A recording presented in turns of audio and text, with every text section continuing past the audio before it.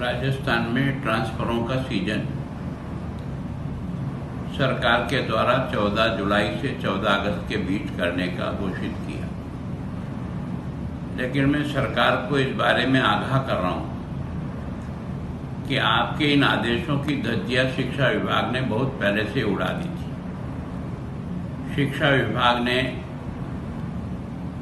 Director, deputy director, आपका DO और बाकी अधिकारियों ने किसी न किसी के आग्रह या दुराग्रह से कई ट्रांसफ़र, अंतर जिला ट्रांसफ़र भी किए हैं, पोस्टों के अगेंस्ट में भी किए हैं, डेपुटेशन के नाम से भी किए हैं।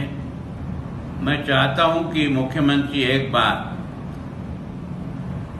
जो 14 जुलाई से 14 अगस्त तक की जो छूट दी, उसके पहले जो ट्रांसफ़र उद्योग चला है शिक्षा विभाग में उसकी जाँच के लिए कोई कमेटी नियुक्त करें तो वास्तव में आपके इन आदेशों की क्या उपयोगिता है और इसके पहले हुए ट्रांसफरों के बारे में कौन जिम्मेदार है? इसके बारे में मैं मुख्यमंत्री जी को पत्र लिख रहा हूँ और चाहता हूँ कि वो इसकी जाँच कराएँ।